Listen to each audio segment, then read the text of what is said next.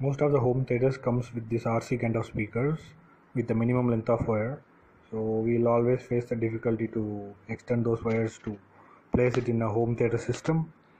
So here's a small trick to connect them using the pins. Just have to buy two RC pins a male and a female along with the extension wires in a local electronics shop. So cut those wires preferably copper wires and uh, connect with this um, male as I mentioned like uh, it's shown here. And you have to make sure that you connect the black end to the top and the bottom is the other gray end. So same way the female wire. So open the female pin and uh, there will be the provisions to connect those wires. Uh, there is no need to solder. If you solder there is not a problem. And um, yeah as you see here I'm opening that uh, wire and uh, connecting those in the female part.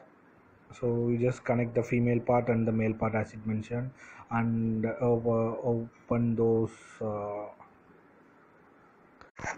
connect the speakers to the extension female like this